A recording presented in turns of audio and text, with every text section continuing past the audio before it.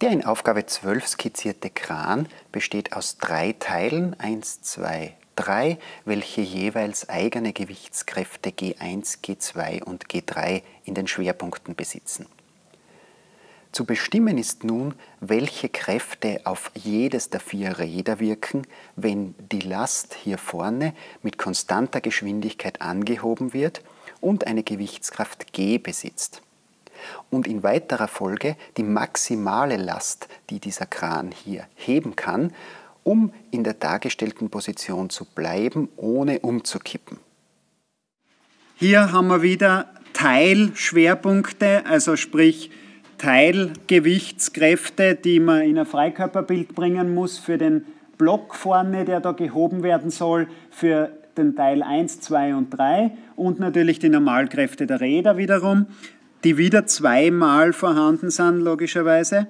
Also wenn wir uns das aufzeichnen, Koordinatensystem wieder, x, y und positive Drehrichtung gegen einen Uhrzeigersinn und dann den Boden aufgezeichnet als Bezugslinie, den Punkt A, den Punkt S1, S2 und S3 und da dazwischen ist B und da vorne irgendwo ist das Seil, also die Verlängerung des Seils von der Last, die gehoben werden soll.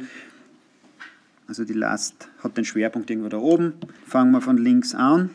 Gewichtskraft G der Last, zweimal Normalkraft der Vorderräder, Gewichtskraft des ersten Teils von dem Kran, zweiten Teil, dann die Normalkräfte auf die Hinterräder und Gewichtskraft auf den dritten Teil. Abstände braucht man natürlich wieder. Moment, ich habe gleich den Punkt A verwendet. Äh, was gibt es da alles? Ja, in unserem Koordinatensystem positiv dreht die Last mit dem Normalabstand A.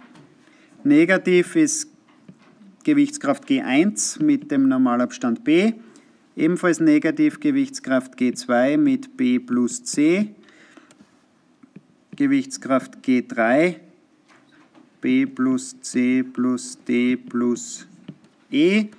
Und positiv zweimal die Normalkraft bei B mit dem Abstand B plus C plus D. Das ist wieder 0 und ist die Gleichung 1. Und die Gleichung 2 ist die Kraftsumme in y-Richtung, die ebenfalls wieder 0 ergeben muss, also minus g plus 2na minus G1 minus G2 plus 2NB minus G3. Dann rechnen wir aus, im Schnelldurchlauf am besten. Aus der Gleichung 1 kriegt man ein NB und ich schreibe das jetzt ganz komisch hin. Ich schreibe nämlich 5500 76,5 Newton minus 0,29 mal G. Das ist NB. Ja, lassen wir es einmal so stehen. Und aus der Gleichung 2 kriegen wir das NA. Das ist 6226,5 plus 0,79 mal g. Warum mache ich das jetzt? Ja, wegen dem Punkt b, weil es ist zuerst gefragt, die Kräfte auf die Räder bei einer gegebenen Last von 3,2 Kilonewton. Dann ist aber noch gefragt, wie viel kann er heben, ohne zu kippen.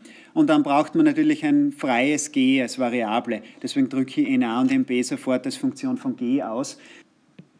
Also mit G ist 3200 Newton, dann kann man es direkt oben einsetzen und dann aber trotzdem auf Kilonewton umgeformt, hat man das NB 4,6 Kilonewton und NA 8,8 Kilonewton.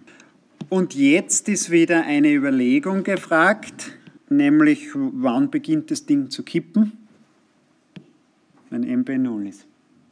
Wenn MB 0 ist, braucht er zumindest irgendwie an irgendeine Störung, dass er kippt natürlich. Dann können sich ohne weiteres die Hinterräder hochheben von der, äh, vom Boden.